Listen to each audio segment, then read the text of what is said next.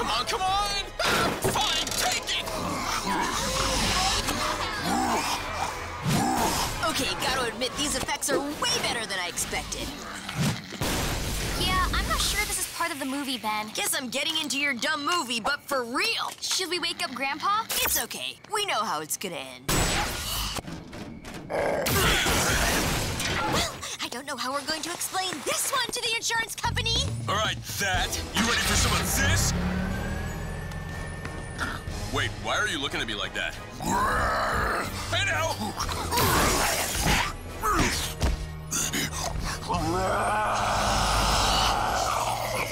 Man, you fight weird. I think it's eating the light. Light, huh?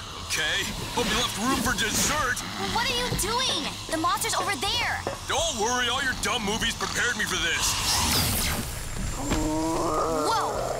Why are you feeding it even more? It's a classic move, Gwendolyn. Overfeed the monster, monster goes boom.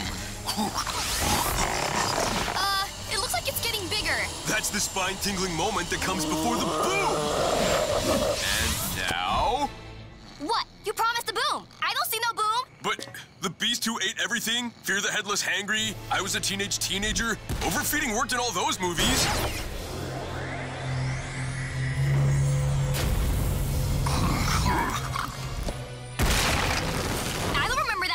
Any of those movies.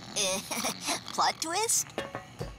Grandpa, we're gonna follow a monster inside that mountain. Huh? Oh, uh, that's nice. Uh,